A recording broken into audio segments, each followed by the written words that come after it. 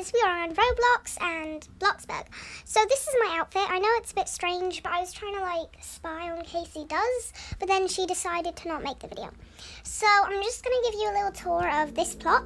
I call this plot thing. I can't change the name, so yeah. So we, if we go over here, wow, uh, no party invite. This is slow. Okay, so on the yellow side we have like a yellow team, blue team, green team, and brown team. I do cooking challenges because, like, I'm a chef. I have a restaurant. And then we have needs, need rooms at the back. This is the judging table. And if we go over here, we have this room where, like, I prep for stuff. This is where I take all of their food once they're done.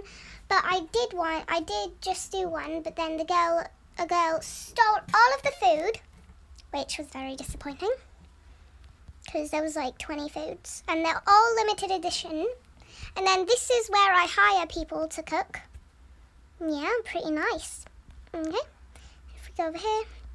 I do have a door that leads to the giant place we're going to, but I'm going to show you my other way.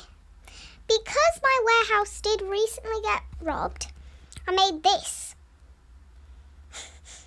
Just like sneak through. Oh, oh, this is, it's very hard to sneak through. It's very thorough. Oh.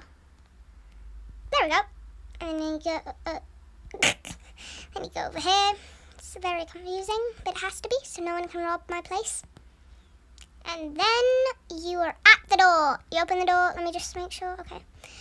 This is where I work. This is my side of the warehouse, and I put all of the limited edition food here.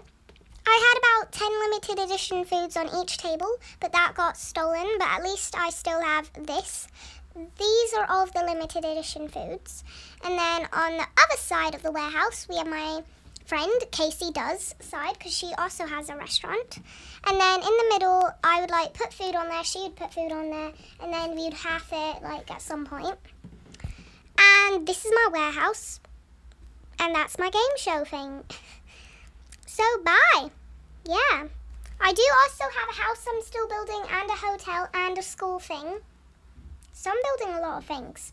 And my money is going down. I had a hundred thousand, but now, as you can see, very sad.